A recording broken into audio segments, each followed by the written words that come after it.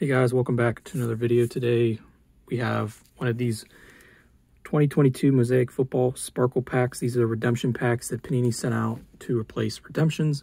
We're going to open up one of these today. So this is what I got in the bubble mailer that they sent me. So basically they're saying the uh, redemption cannot be fulfilled. And so we get three cards in the pack.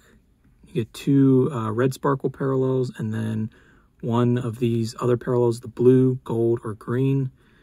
So, yeah, hopefully we can get something good out of here. So originally the redemption I sent in was back in 2018.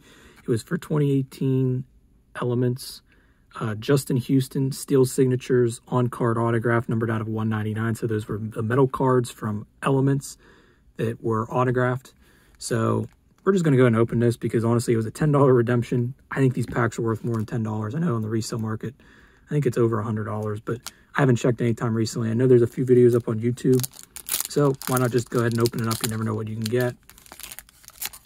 Other than Brock Purdy, I don't know too many of the other big names that are in Mosaic uh, 2022 since I didn't open up any this year. so we're going to start off with Robbie Anderson. So it looks like we got a blue in our pack. So we got two reds and then a blue. So Robbie Anderson. I will say the cards do look very nice. Oh, there we go. Trevor Lawrence. I'll take that gladly. Very nice card. That's going to be a national pride. Trevor Lawrence looks really nice with the American flag and stars in the background. Very cool. The last card is going to be Raider Darren Waller.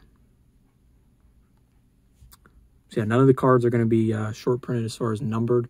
Now they do say the green sparkles are short printed to 10 or less, but I don't think those are actually serial numbered. But I'd say this Trevor Lawrence is probably the best card we got.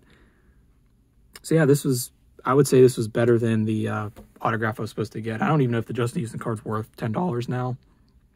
So that just gives you an idea of what you can get for a redemption like that. And honestly, waiting five years is pretty insane for redemption and never actually getting it. But I'm happy with what they sent.